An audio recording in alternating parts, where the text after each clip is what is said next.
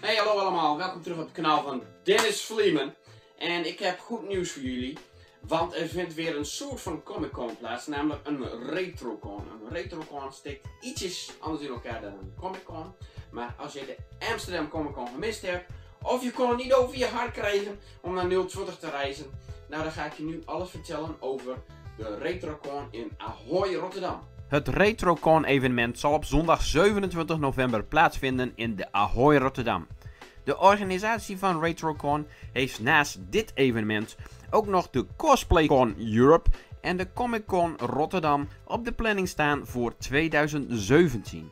Maar ik richt me nu alleen even op het RetroCon evenement. Wat is nu het verschil en wat zijn de overeenkomsten tussen RetroCon en een Comic Con? Net als bij een Comic Con zullen er bij de RetroCon cosplayers aanwezig zijn en er zijn er natuurlijk comics in overvloed. Daarnaast richt de RetroCon zich op retro. Nostalgie en jeugdsentiment zijn centraal op deze RetroCon. Denk hierbij aan popculture zoals retro gaming, yes, en Dragon Ball Z, He-Man, Transformers, Marvel en natuurlijk DC Comics, Star Wars, Back to the Future en nog veel meer.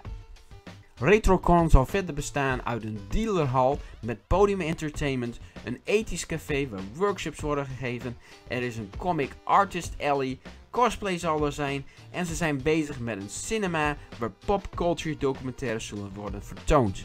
Het volledige programma is verder nog niet bekend, dus het is nog even afwachten. Dat was alles wat er tot nu toe bekend is over de RetroCon. Dat er nog geen grote namen bekend zijn gemaakt van schrijvers, acteurs en dergelijke. Plus dat het volledige programma nu nog niet bekend is.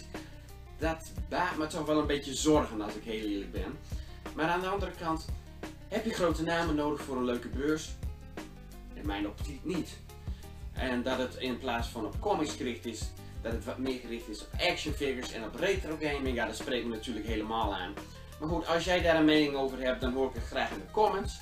Zie je deze beurs wel zitten? Knal er dan even een like in. Abonneer je ook direct even op mijn kanaal als je het nog niet gedaan hebt van ik ga de beurs bezoeken. En dan zie je sowieso wel een overzicht voorbij komen van wat de beurs is. En dan kun je je eigen mening vormen of die beurs tof was. Of een conventie. Of die tof was. En of je dan denkt van ja, daar ga ik volgend jaar ook heen. Dus ehm, ja, misschien zien jullie daar wel. Misschien ook wel niet. Je bent in elk geval op de hoogte van deze beurs. Want er was nog niet heel veel over bekend. Hey, ik zie jullie.